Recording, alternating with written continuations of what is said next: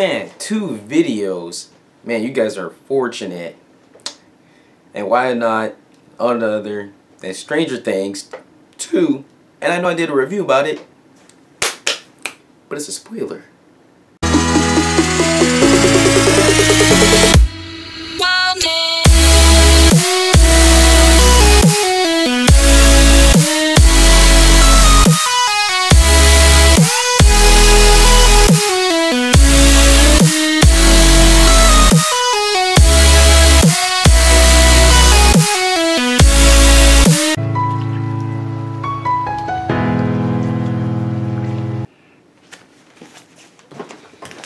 Hello guys, Keon back here. And for this Stranger Things spoiler review, I had to write down a list of the things just so I could remember exactly what was it that I really wanted to get off my chest other than I was able, able to say in my regular review about Stranger Things. And for this one, let's start off with the beginning of how the season even started. It started off with a whole heist chase, apparently, which really took, like, caught me off guard out of the whole Stranger Things world. One, different area, different state. Kind of forgot which one it was in, but definitely, definitely not a little town that we all know and love. but in the beginning, you see a girl, and in the beginning, you see these people. They're running away from the cops, and then one of them in the passenger seat, she apparently is able to create an illusion that looked like a bridge broke in front of one of the cops, and that's caused them to stop, and then allows them to all get away. And then you see her bleed from her nose. And then when you see her wipe it off, you see that the number 8 is on her arm. And I was like, no shit. And there's more. And that leads me to the back to my next thing on my list, and that is Eleven's background, where you find out that she has a sister, air quote, sister. Not really her sister, but somebody that she grew up with when she was in a facility and taken away from her mother. And you when you, she meets her mother, yes, she does meet her mother. She meets her mother, and then that's when she finds out that yes, she has a sister. What her mom been through, the words that she her mom just keeps on repeating over and over. It's the only things that she can remember from when she went to go try and save Eleven. In other words, Jane now, and you see that when she was a little girl, maybe six or five years old, she was um, playing with another girl who I don't remember what her name was, but um, her name was Eight. I'm just gonna call her Eight. We meet her, and she create illusions. And when they saw when they introduced her, I was wondering if there's a whole episode about her, and I believe it was episode six called "The Lost Sister." And guys, that was the thing I was saying in my last video that I can see if they made a series out of that called "The Lost Sisters," and then it'll be really inter it'll be really entertaining, man. It'll be really interesting dynamic because if you know eight's alive, who's to say that the other numbers like you know they aren't alive?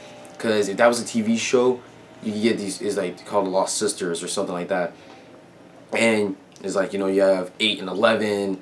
I'm just saying like different characters or something, but you know they're trying to find.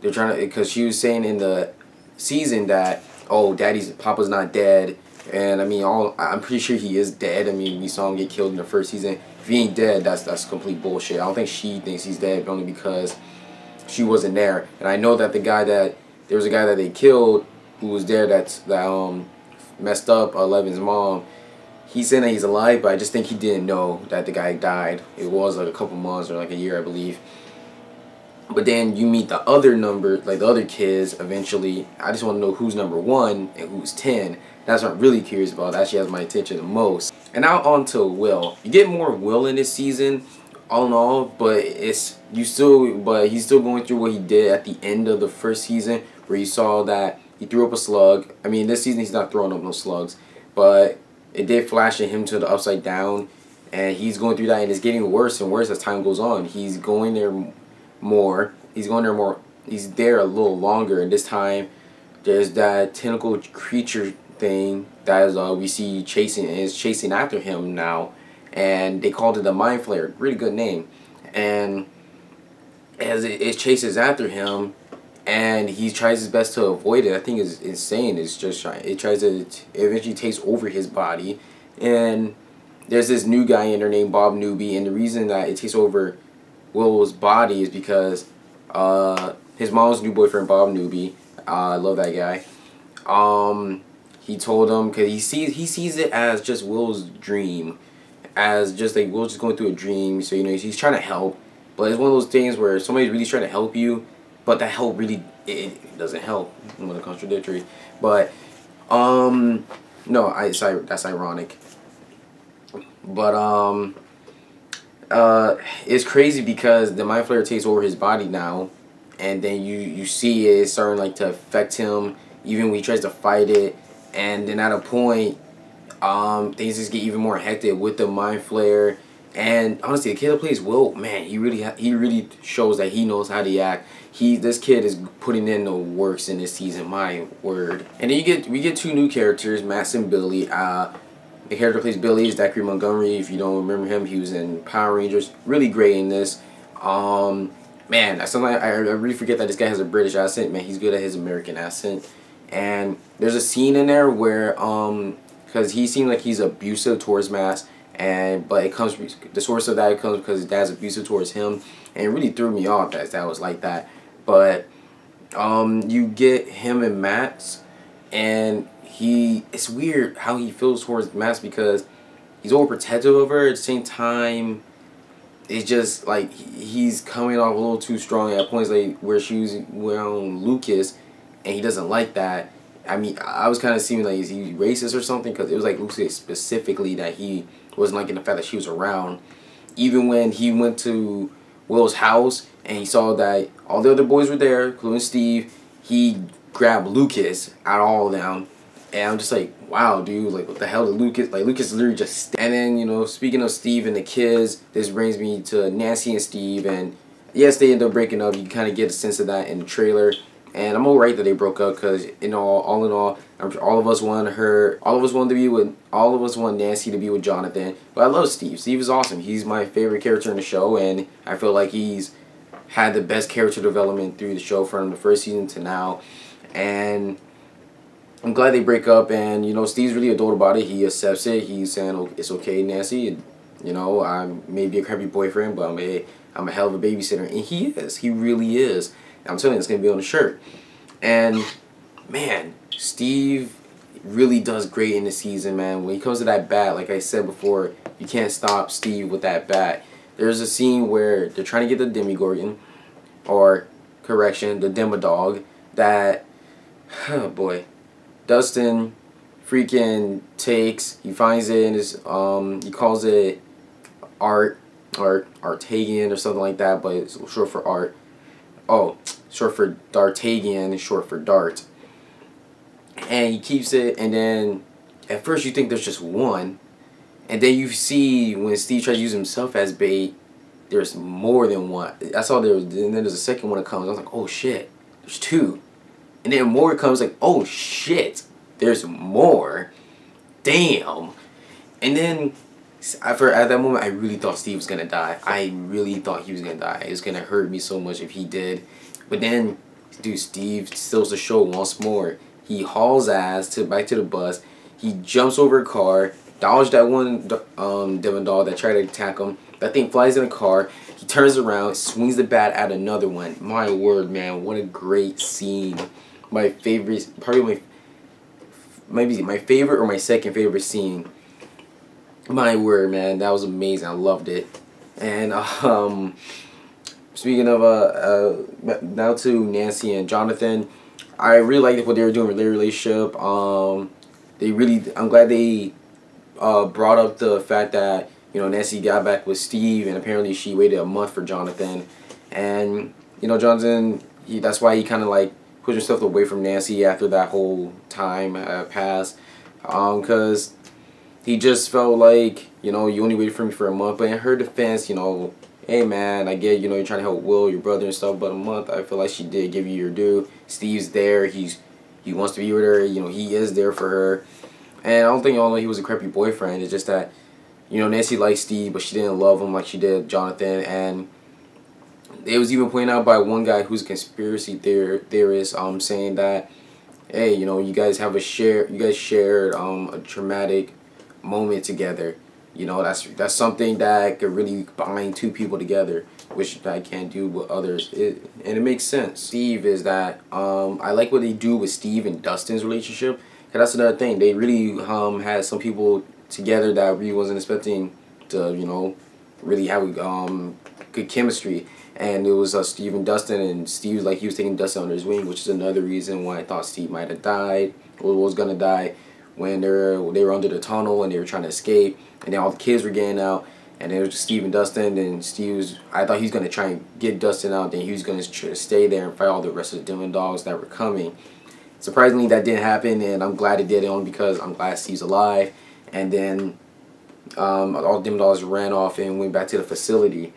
And oh man, I really think Steve and Dustin. I really want to see how well they work together more in the third season. Cause then Steve was even telling Dustin, you know, how he makes his hair like the way he does, and Dustin took that advice and took it to the prom, and we get the prom later. And speaking of uh, good chemistry, uh, Mike and Will's chemistry is really, um, really interesting. Is really um, entertaining actually because in the first season I felt that Mike was the closest to Will out of all of them because even when Will was died, you know, I felt like he took it the hardest, and then even then we found out that Will might be alive. He really wanted to believe that Will was alive. I felt like that was his best friend, and then you find out more about their friendship, how long they knew each other for a very long time when they were, were really young. So uh, I feel like they're really the best best of friends when it comes to one another, and you see Mike with Will the most. Actually, that's the most time you do see Mike. When it, every time you see Mike, you mainly see him with Will. So and it really just makes their friendship grow more and more. And then there's a moment where Will's tied up, and everybody has to. His mom, Jonathan, and Will. I mean, his mom, Jonathan, and Mike are just refreshing his memory and just like going over like their past all the good moments they had together. And I mean, I understand that the other kids are um, translating the Morse code that he was using in order to trick the Mind Flayer, but still. And the Mind Flayer, man, the Mind Flayer is a pain in the ass. God damn, he's a pain in the ass. Jesus, hate him. He was so annoying. I just hated how he was just in his kid's body. He's just trying to. Ah, he's just just pisses me off, man. He just pisses me off. He doesn't talk or anything. He's just there. I just hate him. Just hate that. I just hate a creature that just tries to take over your body.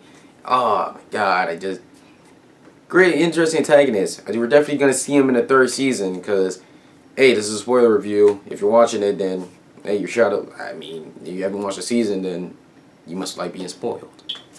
But yeah, you're gonna see him because you see him at the end of the prom trip. You see him at the end um, not even prom. It's it's just their dance, and in the upside down. Um, I mean, it's not like they showed that they really defeated him or anything. They destroyed all the Demogorgons and they closed the gate, which I'll get to that too. But um, he did fly out of Will's body once uh his mom overheated like the room. Man, it must have been hot as hell. We live in I live in Miami. Boy, it gets hot here, but man, they were sweating like I don't understand what it feels like to be sweating your goddamn ass off. Jesus Christ. They must have been boiling hot. More down the line with chemistry between two characters, man, I loved it between Eleven and Hopper because it, it was just it was really good, man. I could see a whole thing with just the two of them. Um, I loved it between them. It's just like, you know, that's like his daughter. And, you know, he lost his daughter. She never had really a, fa a father. And that's pretty much her father. I love the fact that now her name is going to be Jane Hopper. And I, the dynamic between um, them is just, especially when he tried, he tried to ground her. And just her reaction to it, it was just amazing. I loved it so much. And, you know, you really do understand where both are coming from at the same time, I love the scene where you finally, where she finally gets to meet the group, and then like they go to like to like each other. Oh, where were you? All mad and like, and then they still hug. I loved it. And then when they were driving to go to the facility to close the gate, and then you know he talked to her about it, about like you know because she was gone for a while. That's when the whole lost sister episode happened.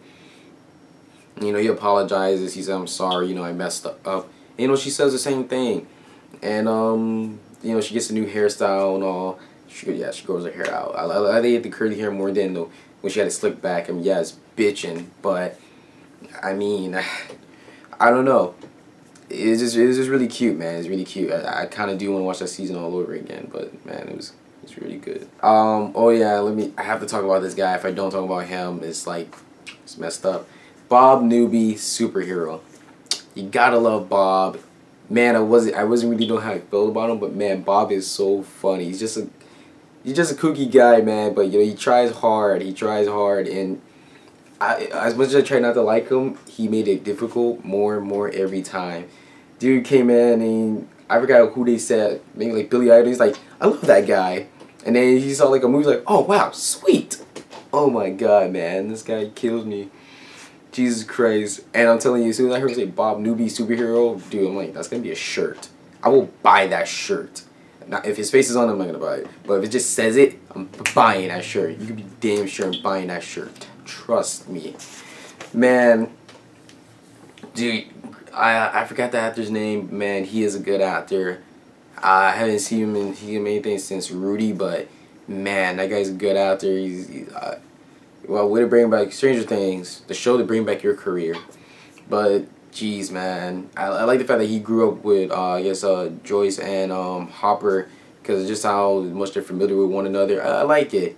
It, really makes me do want to see some of you know that like back just see that past how that was.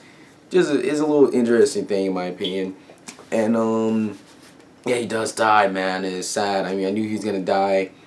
Just when they were on him a little too long, he was running away from the demo dogs. And I remember from the trailer, it's like damn. At first I thought he could survive, but as soon as I saw that demo dog chew on his damn face, I'm like shit, he's dead. Oh yeah, and uh, the other uh, series idea I had for this that they could um, that I could see as a whole different show. Steve and Billy's dynamic. I really like I really like theirs. I hope they do more with Billy. I really do want to see more Dacre Montgomery. Um, in a sense, cause uh, you know after um, basically there's a moment where Max stands up to Billy. You know she um, gives him a syringe of I think uh, a tranquilizer. I think and you know she told him you know to fuck off basically and you know he's hallucinating stuff. I like that about billy. Even when he hallucinated he was just like yeah yeah whatever I understand. He, like he was still calm about it. So i mean i don't want to be much of an asshole to max. It was really hard for me not to like him. I, I can't lie. I mean he's not bad as the bully and um it. So i didn't really hate him like that. But um between him and steve i really like i like their dynamic maybe because it's like he was kind of an asshole towards Steve because you know he's saying people used to call Steve King Steve. I don't remember that, but um, I liked it because the fact that you know he's kind of an asshole, but he'll give him some good pointers. Like they're playing basketball, like you know he was telling me, hey man, you know plant your feet and all that. You know don't let your guard down. Well, plant your plant your feet, keep your guard up, and then you know.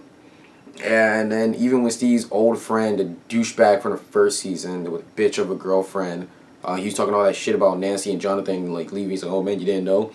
And then you know, Billy was just like, you know, dude, was like whatever, man. Don't let it sweat you or anything like that. I mean, there's plenty, in his words, bitches in the sea. And um, I mean, I get it. You know, he's kind of saying like an asshole, but he has a he has a point. There's other girls out there, man. But it should be it shouldn't be hard for Steve. He's a good looking guy. I mean, it's the way he said it. I guess it makes him sound more like an asshole, but you know, you can see that's kind of a good advice. And um, I don't know, man. It just seems like there's like he's really calm when he's with. I don't know. He's a calm dude. He's really chill when he's with Steve. I can really see them chilling or something like that. I want to see more of them. I want to see more of Billy overall, but I want to see more between their relationship. I mean, come on. Oh, in the end, Billy still doesn't know about all this shit that's going on. He really doesn't know.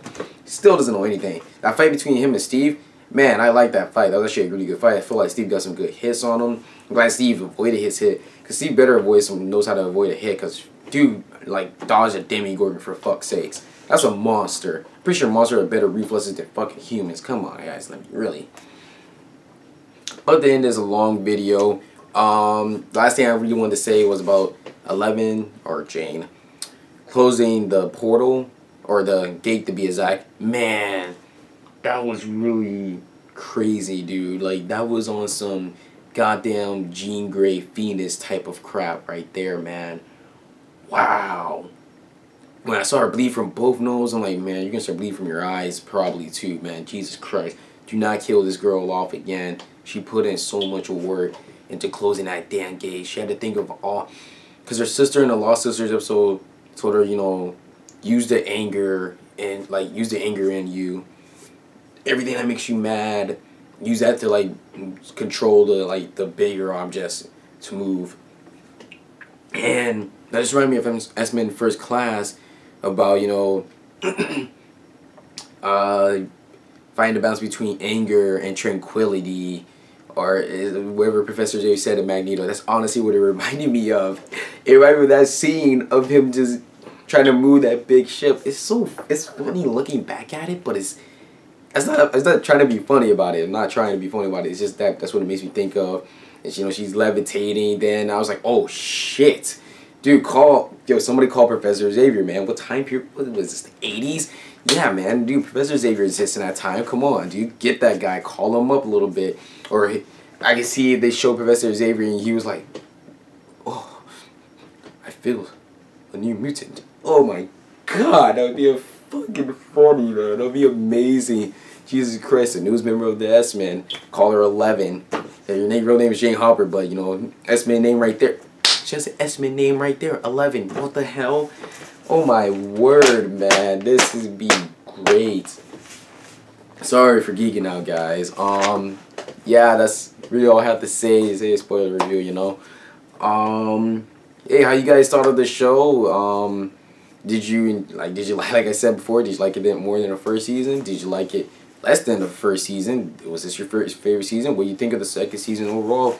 And what do you think will happen in the third season? What you think of all the things that did occur and what I talked about? And is there anything that you felt that you wanted me to mention or what you felt that I forgot to mention? And just comment below. And is any shows, movies, animes, or comics or anything else you want me to talk about? I mean, always comment below. And as always, don't fail to ring that bell. Like if you dare, subscribe if you care. Keon for Miles star. I'm burning out fast. I try to shine, but it's never gonna last.